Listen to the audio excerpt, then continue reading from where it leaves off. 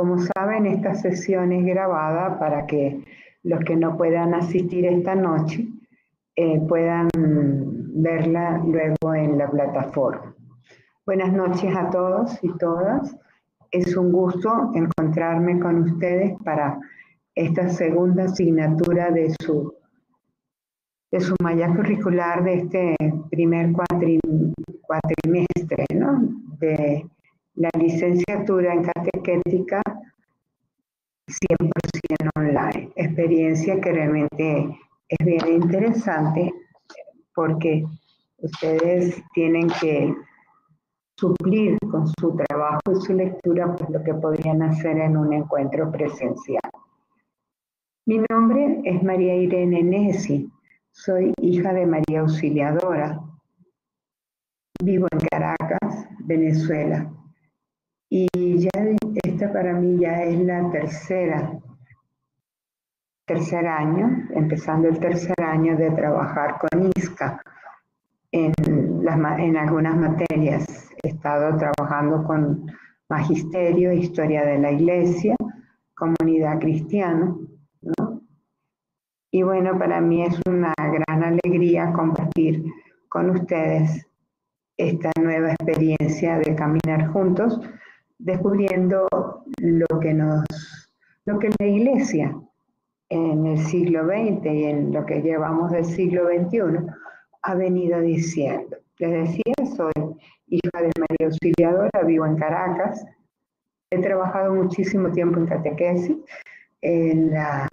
tengo experiencia a nivel diocesano como directora diocesana del Secretariado de Catequesis, después a nivel nacional en dos periodos de nueve años, con un intervalo de, de seis años, que bastante tiempo. He estado al frente del Departamento Nacional de Catequesis. Y ahora, a partir del año pasado, estoy dirigiendo el Instituto Nacional de Pastoral, que trata de hacer lo que hace ISTA, pero en una forma más amplia, no solamente en el campo catequético, sino también en el campo, en las demás mm, áreas pastorales. Para mí es un gusto poder compartir, creo que se lo dije, soy hija de María Auxiliadora, salesiana, vivo en una comunidad salesiana, precisamente estoy en mi casa en este momento. Y me encanta trabajar en esta materia, eh, me encanta trabajar en la formación, sobre todo de, futuros catequetas, que es lo que ustedes están preparándose para hacer.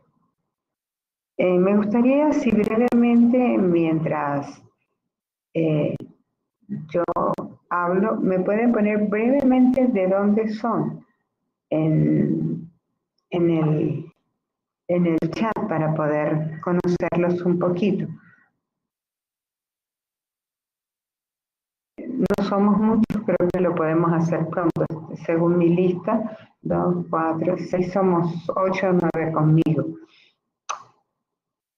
Bien, ya Carlos Benigno nos dijo que era de Costa Rica. Carlos, Eddie es de Mérida, Yucatán. También Gloria es de Yucatán. Rita es de Mérida.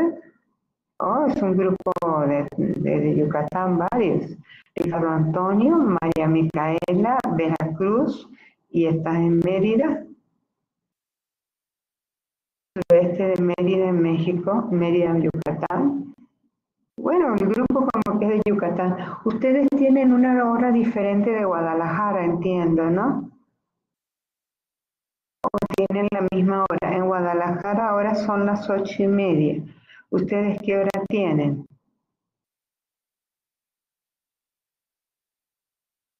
Es la misma hora. Ah, bueno, entonces no, no hay confusión porque yo, tengo dos horas de diferencia, hace una hora me sentí aquí pensando que era la hora.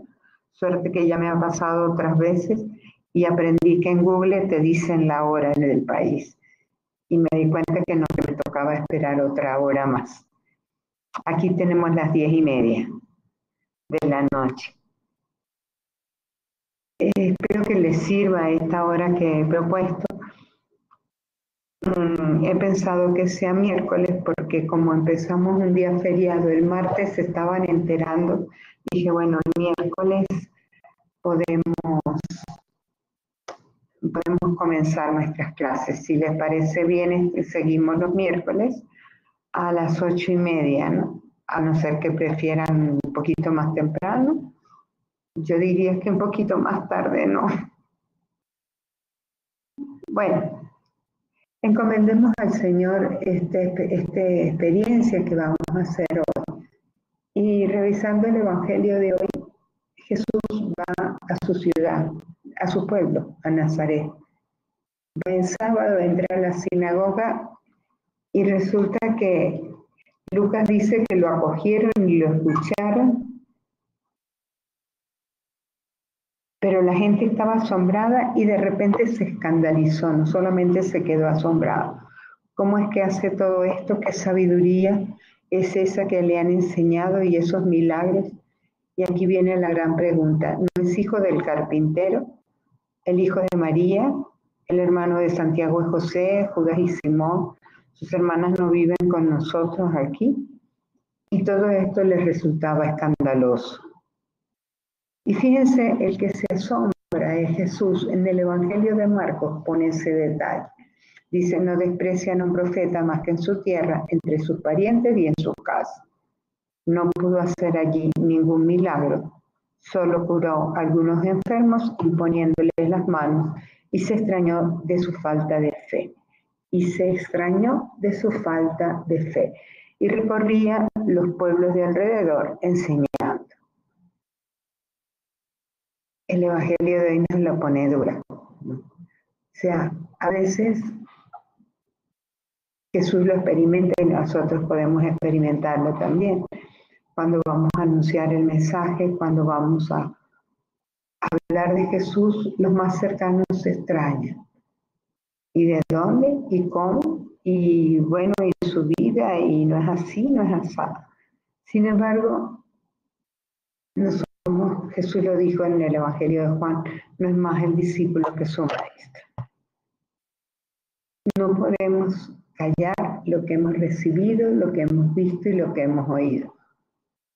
Así que en esta asignatura que completa, como verán, catequética fundamental, nosotros vamos a ir descubriendo que eso que hemos visto, que eso que hemos oído, que eso que hemos experimentado en nuestra vida, tenemos que anunciarlo y nada nos puede detener. Y lo que vamos a hacer es aprender cómo podemos anunciar, a quiénes, en qué forma, con qué recursos.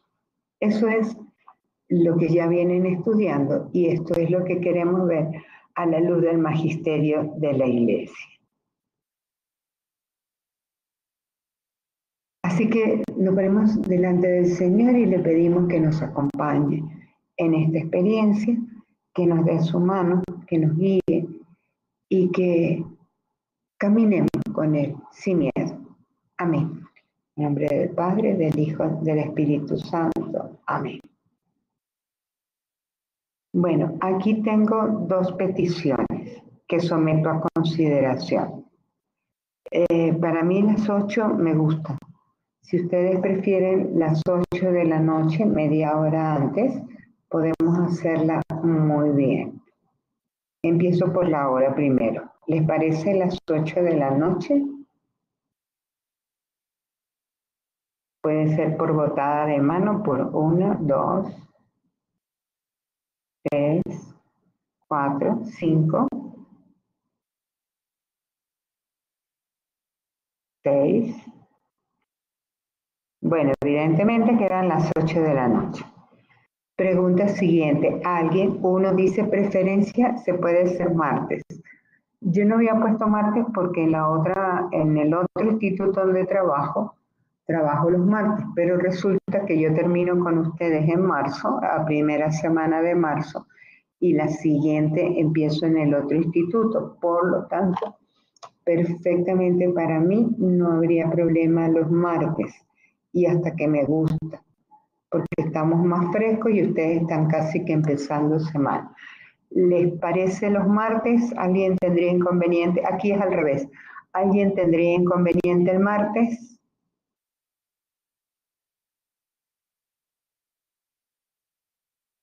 Todos los de Yucatán prefieren lo del mar.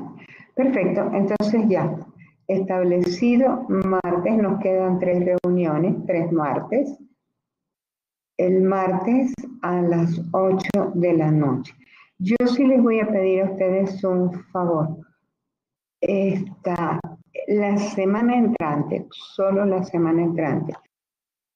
Yo el martes voy a estar en Panamá y tengo que dar un curso en la noche que termina a las ocho y media, que es para ustedes las nueve y media.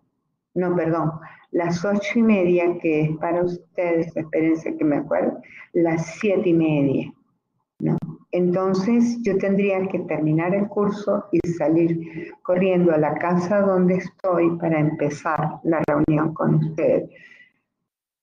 Sí les pediría que el martes que viene pudiera empezar a las ocho y media para que me dé tiempo de llegar a la casa. Los otros dos martes que quedan, sí a las ocho. ¿Les parece bien? Ok, gracias. Entonces, eh, esta, esta reunión y la semana que viene quedan a las ocho y media, ya está fue, y la otra será a las ocho y media. Y las últimas dos, dentro de 15 y tres semanas, a las 8 de la noche, martes, todas las, las tres semanas. Muy bien. Bueno, yo quisiera eh, a continuación hacer una breve introducción de la asignatura. Yo algo les dije en la, en la bienvenida, me faltó presentarme, cosa que les pido disculpas. Esta, quiero hacer una introducción a la asignatura. Miren, ustedes cuando estudiaron catequética, estudiaron la reflexión teológico-pastoral sobre qué es la catequesis como acción de la iglesia. Esa es la función de la catequética dentro de la teología pastoral, en reflexionar, estudiar, analizar la identidad de la catequesis, la, su tarea, su, definición, su, su naturaleza, sus objetivos, las tareas, los destinatarios, la metodología, es decir, reflexionar sobre la catequesis. Pero la reflexión teológica tiene, eh, en cualquier campo eh, perdón, teológico, tiene dos fuentes, que es la palabra de Dios y el magisterio. Nosotros ahora vamos a ver cómo el magisterio de la iglesia ha ido trazando la ruta de esta acción pastoral de la iglesia llamada catequesis y cómo el magisterio en algunos momentos ha ido trazando el camino, abriendo senderos y otras veces ha ido ratificando, confirmando e impulsando lo que se viene haciendo. Si es verdad que a principios del siglo XX, hasta antes del Concilio Vaticano II, más bien el magisterio confirmó, ratificó, reforzó la pastoral catequética de la iglesia, es decir, lo que se hacía como eh, transmisión de la fe y doctrina cristiana. Con el Concilio Vaticano II hay como un giro, es decir, el concilio abre puertas, abre caminos, despeja horizontes, muestra nuevas perspectivas y va iluminando a la catequesis desde esa visión más amplia, esos nuevos horizontes, esas ventanas abiertas de las que habló Juan 23, para que la catequesis empezara a revisarse y pudiera hablarse hoy de un nuevo paradigma. Estamos hablando a más de 50 años del concilio. Y vamos a ver qué ha pasado, o sea, después de una breve introducción, queremos ver qué ha pasado en la iglesia en estos 50, más de 50 años que llevamos recorriendo. Eso quiere ser esta, esta asignatura. Mm, para apoyarnos tenemos unos dos, tres artículos tomados del nuevo diccionario catequético. El nuevo diccionario tiene una ventaja, ¿no? que los artículos son cortos, concisos, bueno, no tan cortos, pero sí son concisos, concretos, y para quien quiera hacer investigación tiene muy buena bibliografía. Entonces vamos a trabajar tres artículos, de los cuales ya les puse dos, me falta, les puse dos, me falta un tercero. hemos visto ya el magisterio de la iglesia y la catequesis, les puse ya el Vaticano II y la catequesis. Perdón, dos artículos. Y del magisterio, la próxima semana les voy a poner la segunda parte, es decir, los documentos posteriores. Ah, y catequesis en América Latina, es el tercer artículo. Pero estos artículos lo que nos van a hacer a nosotros es ayudarnos a la visión de conjunto. En la primera parte de los documentos anteriores no, no vamos a leer los originales. Sería interesante quien quiera hacer una investigación ya para un trabajo más profundo, pues tendría que acercarse a los documentos tanto de, de, Pío, de San Pío X, de, San, de Pío XI y Pío XII, pero, y de Benedicto XV. Pero nosotros no, no vamos a hacer eso, obviamente. Nosotros lo que vamos aquí es darle una mirada a cómo en el siglo XX, con, sobre todo, no sobre, con San Pío X, empieza una mirada sobre la catequesis desde eh, los documentos magisteriales que van precisando la naturaleza, el destinatario, la acción catequética. Y van actualizando, recogiendo lo que venía desde el concilio de Trento. Cuando lleguemos al Vaticano II, que ya les, tocó esta, les toca esta semana, sí ya nos acercamos a los documentos. El artículo que les puse, Vaticano II y la catequesis, es sumamente interesante.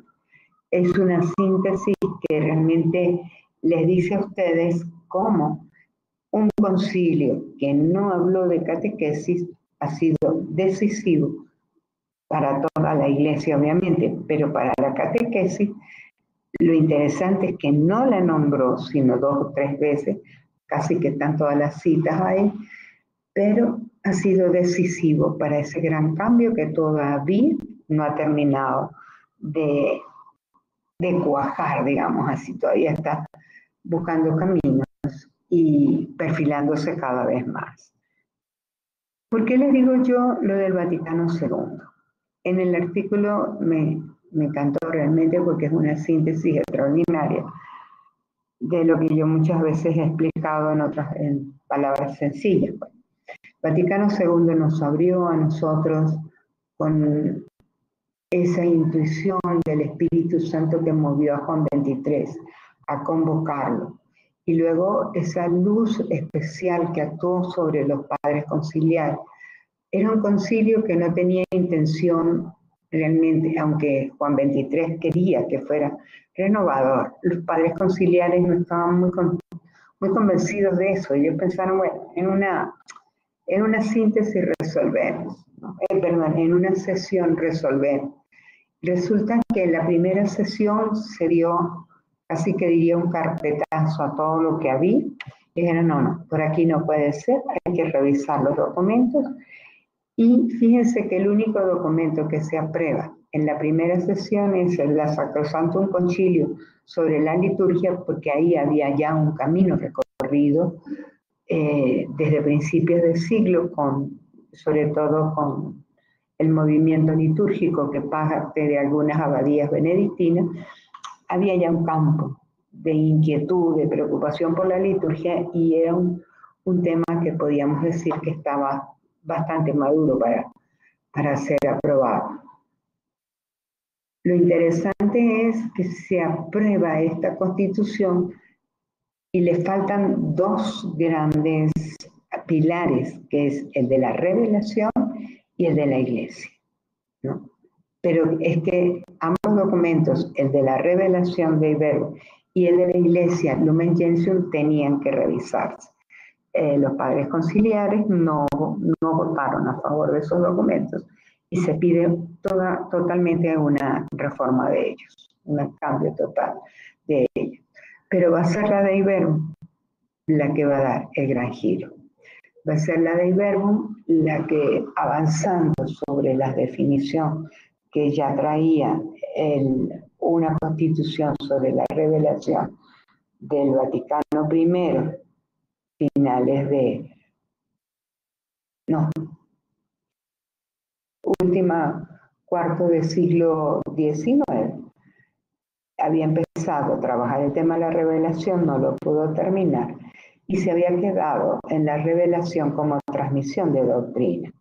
Pero el Vaticano, segundo, en la Dei Verbum, nos va a decir, ya desde el número dos, Dios, movido por su bondad y sabiduría, quiso revelarse, revelarse a sí mismo a los hombres y el misterio de su corazón, de su plan de salvación. Entonces, esto que parece una cosa de, bueno, ¿y cuál es la diferencia? Es la gran diferencia, ¿no? Es la gran diferencia. ¿Por qué? Porque ya Dios no nos revela cosas que tenemos que saber. El Vaticano II profundiza el misterio de Dios y dice, Dios se reveló a sí mismo. Dios nos dio a conocer sus secretos. Dios nos abrió su corazón. Dios invitó al ser humano a participar de su intimidad. Eso cambia todo. Cambia la catequesis, cambia la predicación, cambia la acción misionera y cambia la vida de la iglesia. En esta primera semana, después de mirar un poquito los primeros documentos, yo quiero que ustedes profundicen estos documentos. Dos. Habría que trabajar otros dos más, pero yo quiero que trabajen de verbo. En el capítulo 1 y en el capítulo 2 la transmisión. Para ver qué, y el último capítulo sobre la, la divina revelación en la vida de la iglesia, que es hermoso no solamente leer la síntesis y la explicación y la reflexión sobre lo que ha sido el Vaticano II, sino saborear el documento y descubrir lo que descubrieron los padres conciliares, qué significa que Dios se revele a sí mismo. Tiene una, las comparaciones que usa son hermosas en el número 3. Dios habla de los hombres como un amigo a su amigo, ¿no? y pone la cita de de Moisés y de los profetas. Dios nos habla por medio de palabras y hechos íntimamente ligados. Y ahí está la clave de la acción catequética, entre otras cosas, de todo lo que es la iglesia, porque es la dimensión sacramental de la palabra, en la que se une la palabra que explica, la palabra que es eficaz, la palabra que realiza, la salvación con el signo, con el hecho donde Dios se manifiesta. Bien, este es un poco el resumen que quería hacerles de esta primera parte. El otro texto, brevísimamente, Allentes, va a ser eh, fruto del texto de Divina Revelación. ¿Por qué? Porque si Dios se da a conocer a sí mismo, la, misión de la iglesia es dar a conocer, o sea, ser mediadora para que Dios que quiere abrirnos los secretos de su corazón pueda seguir hablando con la humanidad. Y entonces en los números que les puse yo, 12 al 15, si no me equivoco, al 16, nos habla del testimonio de la evangelización como la acción de proclamar el mensaje de Jesús y luego la, aquellos que han recibido la palabra, el camino que tienen que hacer el catecumenado para, eh, fortalecer, para desarrollar esa fe inicial y mediante los sacramentos de la iniciación formar parte de, recibir la gracia de adopción y formar parte de la iglesia. Hoy en lenguaje de Aparecida diríamos llegar a ser discípulos misioneros. Bueno, esta es un poco la, introducción a nuestra materia. Yo les puse eh, dos ejercicios, o sea, una actividad y un foro. En el foro, perdón, en el foro les pido que reflexionemos un poco sobre esto que estamos hablando, de qué significa la Dei Verbum para nosotros, ¿no? O sea, qué sentido tiene la palabra de Dios y por qué podemos decir que renueva la acción catequética, ¿no? Que influye. Eh, creo que todos han descubierto cómo, cómo se entra en la asignatura, ¿verdad? En el tema primero, los documentos del magisterio, hasta el concilio y la identidad de la catequesis, ustedes hacen clic en, en el link que está debajo de la vista de San Pedro y la plaza, y entonces les aparece una cosa que se llama libro. Entonces ahí van teniendo eh, página por página eh, videos, textos y explicaciones de lo que van haciendo. La actividad, la primera es responder a tres preguntas que les puse, ¿no? que tienen que ver con la lectura que han realizado acerca de qué nos deja los documentos primeros.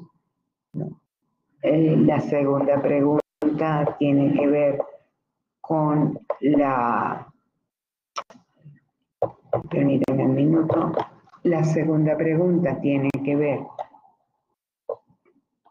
con la de Iberbo y la tercera con la renovación de la catequesis. Ustedes descargan ahí en la actividad, tienen la hoja de trabajo. Ahí mismo van a responder en los espacios que les puse. La primera es, ya me acordé, la primera es el encargo, los documentos magisteriales anteriores al concilio, cuatro, qué, qué papa los escribió y brevemente en ese cuadrito de qué trata, o sea, a qué hace referencia, pero muy brevemente. solamente unas tres, cuatro líneas como para recordar de qué trata el documento.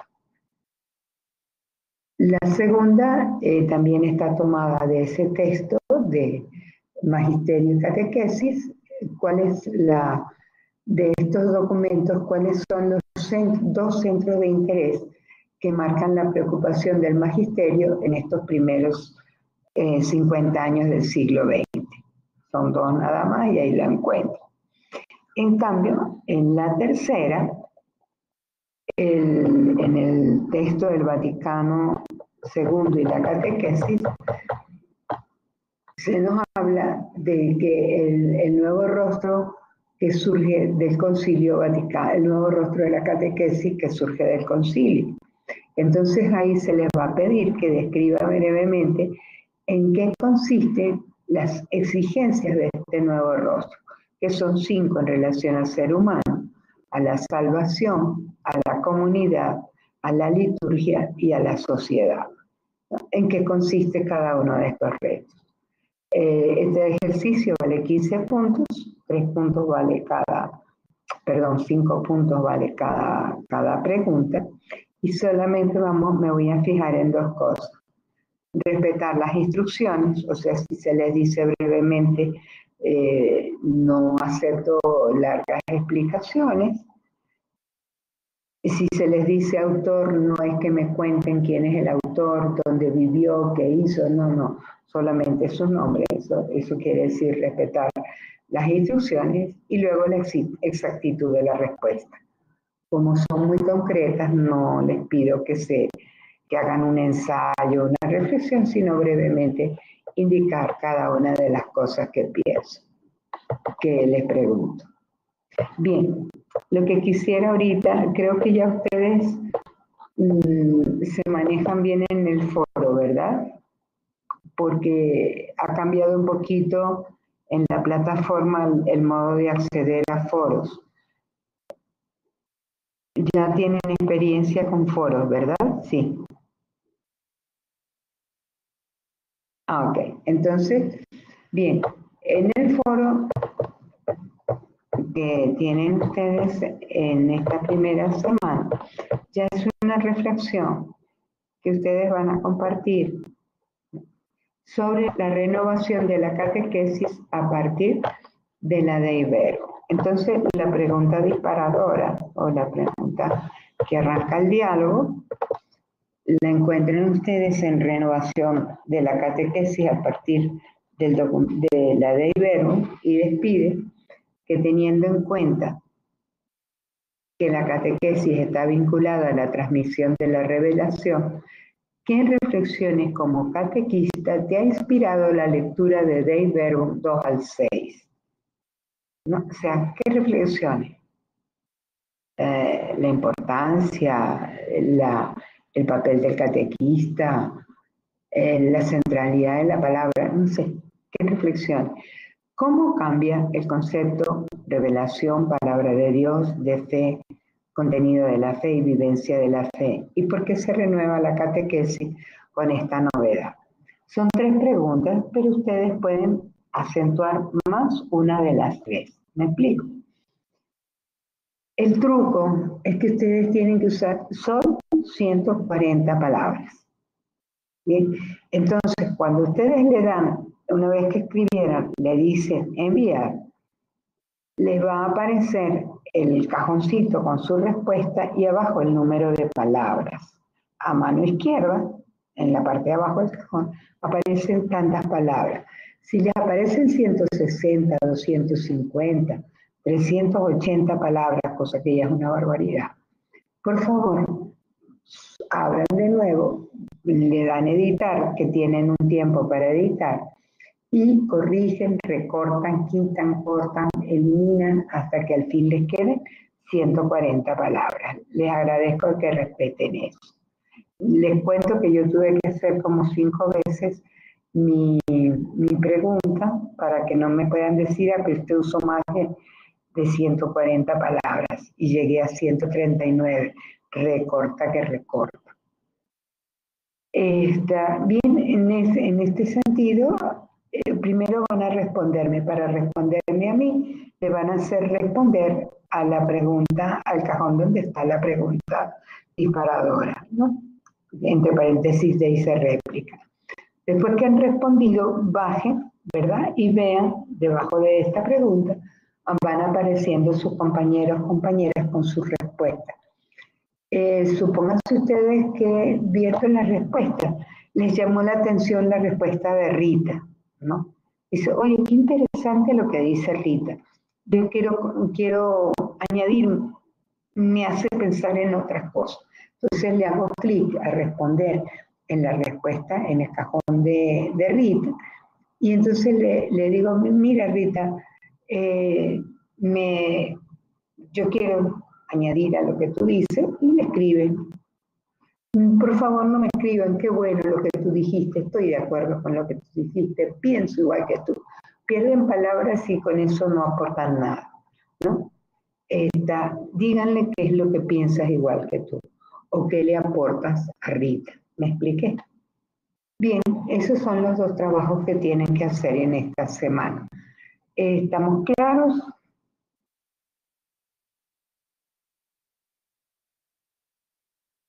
Vamos a ver qué Gloria está escribiendo, qué nos dice. Ah, sí, dice que sí. Felipe dice también que sí. Ok. Bien.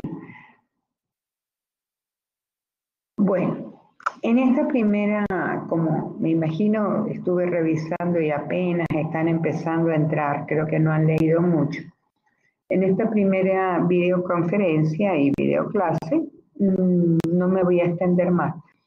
Yo quisiera aprovechar siempre en cada encuentro 20 minutos, no más de 20 minutos, hacer una introducción, pero sí me gustaría dejar el resto de la hora para que ustedes puedan intervenir. Primero que nada, intervenir con preguntas.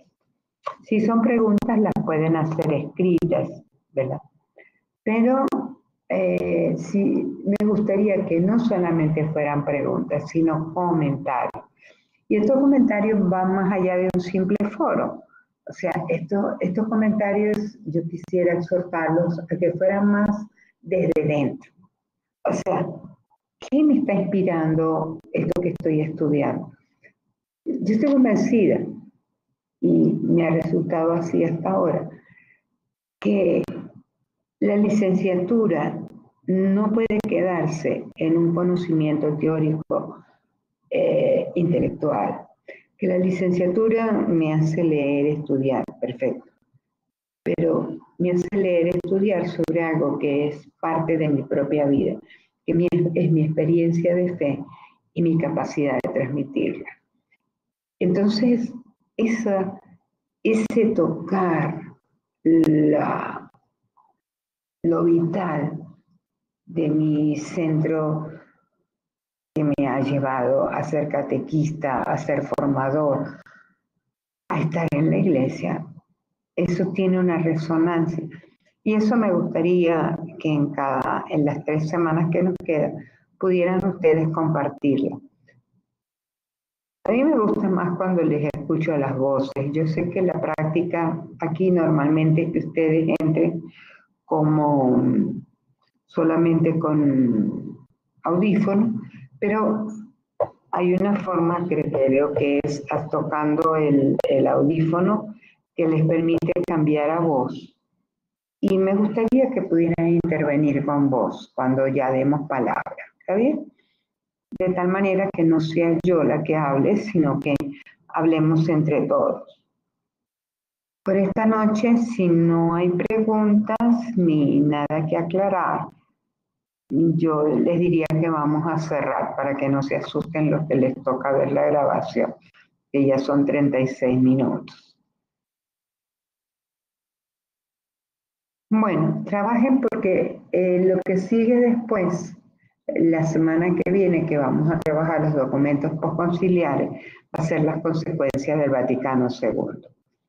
La tercera semana vamos a entrar a América Latina, que van a ver qué apasionante es trabajar América Latina y he reservado en esta recomposición que hice del programa la última semana para los dos documentos que de alguna forma por ahora son los más recientes, con comillas, porque ya el directorio se nos está acercando a los 20, ya cumplió los 20 años.